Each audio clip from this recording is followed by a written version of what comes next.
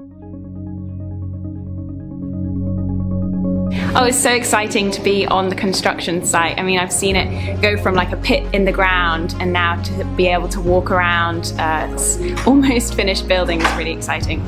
Well, it was really exciting because it was the first time ever I was on a construction site um, and it's really uh, like amazing to see all the materials and all the building sites. Um, yeah, it was just really exciting tour. Oh yeah, it was, it was, it was amazing to see actually, um, especially having seen the kind of original designs and then being able to come and see kind of the amount of work that's been done so quickly uh, and just to see like, especially to go up to the top of the kind of see the postgraduate accommodation and see the amazing views they're going to have out onto Oxford. It's just it's great to see. I've seen the website um, and I've seen the sort of the uh, design of the digital hub of the quads. Um, so yeah, it's really exciting to see it in person. I can visualize it, um, and it's I think it's going to be great when it's all built.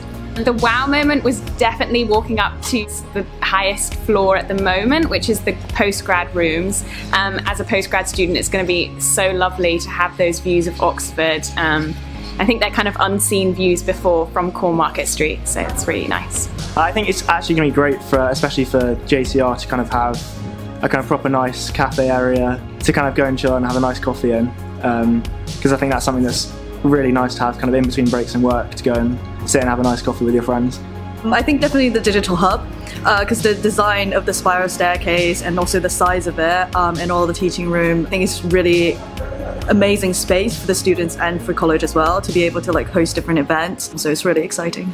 I think everyone is going to be very envious of the future of Jesus College. We've got a superb digital hub coming and we're going to have an extra quad. Um, I think it's really going to make the college a very desirable place to be a student.